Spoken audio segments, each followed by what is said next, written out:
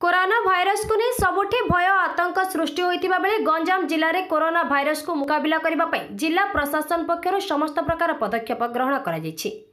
ବିଶେଷ କରି ଜିଲ୍ଲାର ସମସ୍ତ ଆହାର କେନ୍ଦ୍ରଗୁଡ଼ିକରେ ମଧ୍ୟ ସମସ୍ତ ପ୍ରକାର ବ୍ୟବସ୍ଥା କରାଯାଇଛି। ଏଭଳି ଦୃଶ୍ୟ ଦେଖିବାକୁ ମିଳିଛି ହିଞ୍ଜଳିକାଟୁ ଆହାର କେନ୍ଦ୍ରରେ। ବାରମ୍ବାର ହାତ ଧୋଇବା ସହ ମୁହଁରେ ମାସ୍କ ଲଗାଇ ଆହାର କେନ୍ଦ୍ରର କର୍ମଚାରୀମାନେ ଲୋକଙ୍କୁ ଖାଦ୍ୟ ପରଷୁଛନ୍ତି। ଏମିତିକି କରୋନା ଭାଇରସ ଉପରେ ଲୋକଙ୍କୁ ସଚେତନତା ଉଦ୍ଦେଶ୍ୟରେ ମଧ୍ୟ ଏଲ୍ଇଡି ମାଧ୍ୟମରେ ଲୋକଙ୍କୁ ସଚେତନତା କରାଯାଉଛି। ଲମ୍ବା ଧାଡ଼ିରେ ଛିଡ଼ା ନ ହୋଇ ଦୂରତା ଅବଲମ୍ବନ କରୁଥିବା ବେଳେ ଏମିତିକି ଲୋକଙ୍କଠାରୁ ବାକ୍ସ ମାଧ୍ୟମରେ ପଇସା ଓ ଟୋକେନ୍ ଗ୍ରହଣ କରାଯାଇଥିବା ଦେଖିବାକୁ ମିଳିଛି। କରୋନା ଭାଇରସକୁ ମୁକାବିଲା ପାଇଁ ସମସ୍ତ ପ୍ରକାର ବ୍ୟବସ୍ଥା ପୌର ପରିଷଦ ବିଭାଗ ପକ୍ଷରୁ ଗ୍ରହଣ କରାଯାଇଥିବା ଜଣାପଡ଼ିଛି। ପ୍ରଶାସନ ପକ୍ଷରୁ ସୋମବାର ସନ୍ଧ୍ୟାରେ ଡାକବାଜି ଯନ୍ତ୍ର ସାହାଯ୍ୟରେ ପ୍ରଚାର ପରେ ହିଞ୍ଜଳି କାଟୁରେ ଥିବା ପନିପରିବା ମେଡିସିନ ରାସନ ଓ ଅତ୍ୟାବଶ୍ୟକ ସାମଗ୍ରୀ ମିଳୁଥିବା ଦୋକାନକୁ ଛାଡ଼ିଲେ। ଅନ୍ୟ ସବୁ ଲୁଗା ମିଠା ହୋଟେଲ ଆଦି ଦୋକାନ ବଜାର ବନ୍ଦ ରହିଥିବା ଦେଖିବାକୁ ମିଳିଛି। ବ୍ୟୁରୋ ରିପୋର୍ଟ ଜିଲ୍ଲା ଖବର।